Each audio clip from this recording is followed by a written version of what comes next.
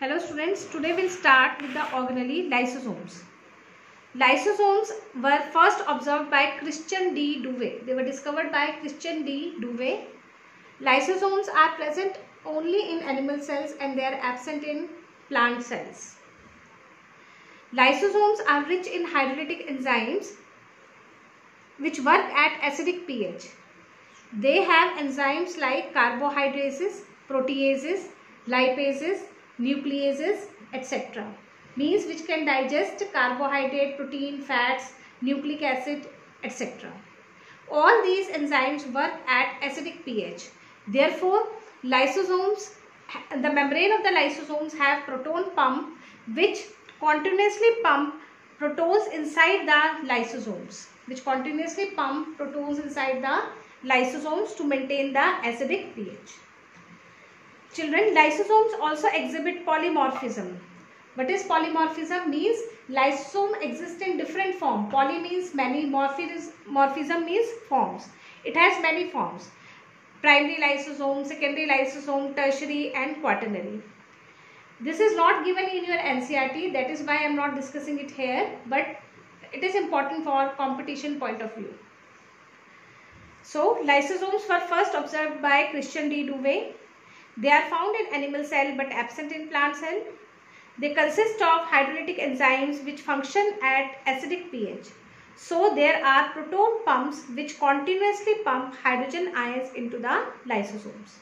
Lysosomes show polymorphism. Next organelle which will, we are going to discuss is vacuole. Vacuole are also single membrane bound but in prokaryotes vacuoles are membraneless. There, uh, in prokaryotes, true vacuoles are absent. They are membraneless. In prokaryotes, only gas vacuoles or pseudo vacuoles are present. Vacuoles are of different types like sap vacuole, food vacuole, contractile vacuole, etc. So, it is a single membrane bound organelle.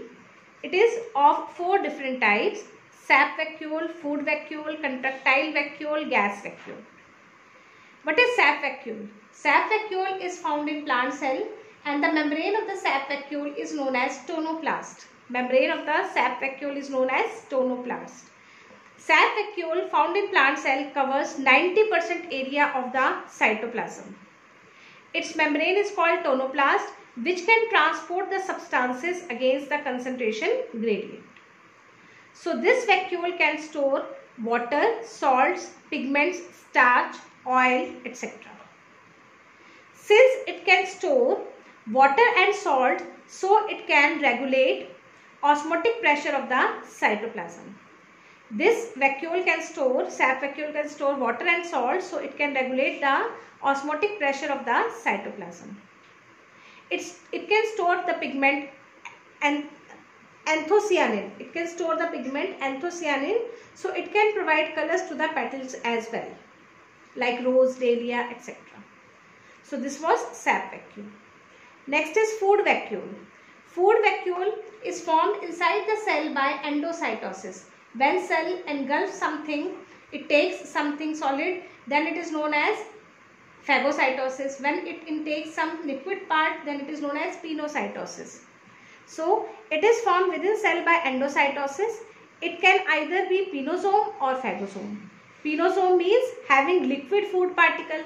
Phagosome means having solid food particle.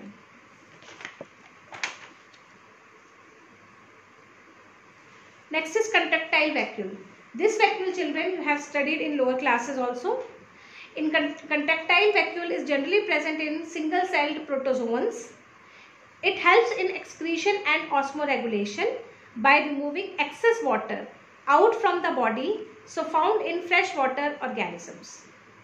It is absent in marine water organism and parasites. Because parasites are always isotonic with the host body. Next is gas vacuoles or pseudovacuoles. Gas vacuoles or pseudovacuoles are without any membrane. These are found in prokaryotes. These vacuoles get filled with gases to provide buoyancy. To provide buoyancy also protects the UV rays of sun, also protects from UV rays of sun. It also protects the cell, bacterial cell from the UV rays of the sun. It is found in some prokaryotes. So, we have discussed endoplasmic reticulum, Golgi body, then we have discussed uh, lysosome and vacuole. All these four organelles work as a system. They work in coordination and this uh, system is known as GERL, G-E-R-L. Golgi, endoplasmic reticulum, lysosome, vacuole system. This is, they work in coordination. How they work in coordination? Endoplasmic reticulum uh, transports the protein to Golgi. Golgi then targets, sorts and targets the proton, uh, proteins formed in uh, two different organelles. It packs the uh, proteins in lysosomes or in vacuoles and send to it to different type of organelles or outside the cell. So it is a framework, it is a system which work in coordination and this system is known as GERL, G-E-R-L. Next organelle which we are going to discuss is centriole. Centriole is membraneless organelle. So we have discussed two membraneless organelle. One was ribosome and second is centriole. It is membraneless organelle, self-duplicating organelle. It is made up of protein known as tubulin. It is absent in prokaryote, present only in eukaryotes. Each centriole is surrounded by some cytoplasm and that part is known as centrosphere. That part is known as centrosphere. So centriole plus centrosphere is known as centrosome. This is very important children. Centriole plus centrosphere is known as centrosome. Duplication of centriole occurs in S phase. See, we will do this uh, cell cycle in the next chapter. In the 10th chapter, cell cycle has different phases. Cell cycle has different phases. In one of the phase that is S phase, centriole divides. So, in cell cycle, the centriole divides in S phase.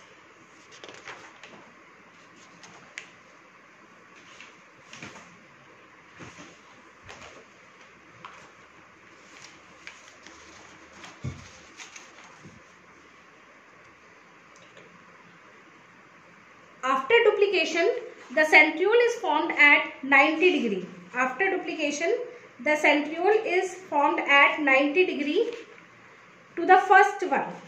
See, here I have shown the second centriole formed is formed at 90 degree to the first centriole. So these together are known as diplosome. These together, these two centrioles which are present at 90 degree with each other are known as diplosome. So uh, before S phase, one centriole was present. Surrounding its centrosphere was present. This whole structure was known as centrosome.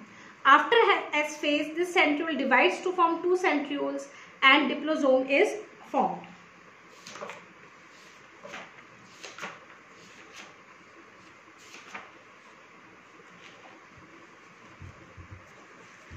Each centrosome is surrounded by bundles of tubulin protein called massule. Each centrosome is surrounded by bundle of tubulin protein called massules. These massules provide the raw material for duplication of centriole. These massules provide the raw material for duplication of centrioles. Centriole has 9 plus 0 arrangement means there are 9 peripheral fibers but the, there are no central fibers so hub remains empty. See this line you will understand when I will show you the diagram. I uh, repeat this line. Centriole has 9 plus 0 arrangement means there are 9 peripheral fibers but there are no central fibrils so hub remains empty.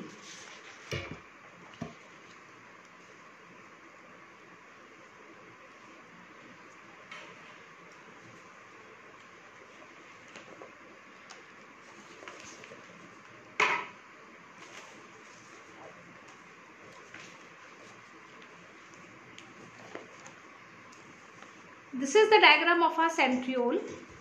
See, these are nine peripheral fiber. Centriole is having a cartwheel-like structure. Children, this is cartwheel-like structure. These are nine triplet fi peripheral fibers. See, this is A tubule blue color, red one is B tubule and C is yellow tubule. So three triplet fibers are arranged. One triplet is attached to the second triplet, adjacent triplet by a linker, by a linker and this linker is AC linker. A a uh, triplet a tubule of one triplet is linked with the C tubule of the other triplet. This is the diagram of the centriole. It has 9 triplet fibers 1, 2, 3, 4, 5, 6, 7, 8, 9. One triplet has 3 microtubules, 3 tubules A, B and C. A has 13 protofilaments, B has 10 protofilaments and C has 11 protofilaments. This I will discuss later on. One triplet is attached to the other triplet through AC linker. Means C tubule of one triplet is linked to A tubule of other triplet. Then each of the triplet is connected to the central portion, proteinaceous hub, through a radial spoke. These are radial spokes. So there are nine radial spokes which connect each triplet to the central hub. So this was a diagram of a centriole.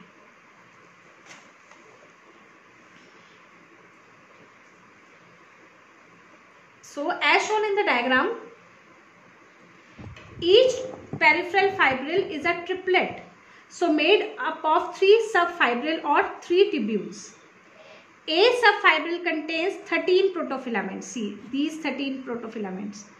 Each tubule is further made up of filaments, protofilaments. A has complete 13 protofilaments.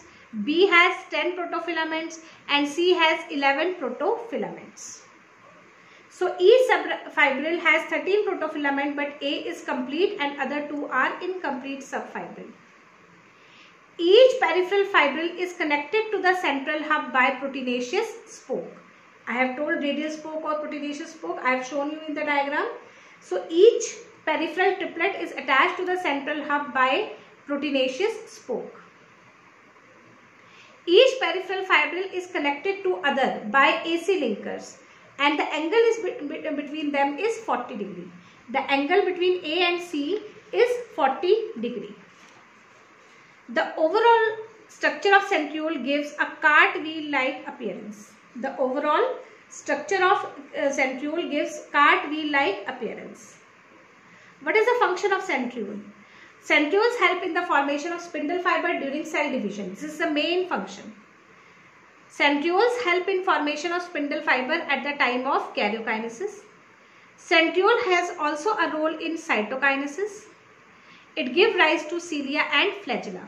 The centriole, it forms the basal body and basal from basal body, cilia and flagella originates. So with this, we finish with the centriole.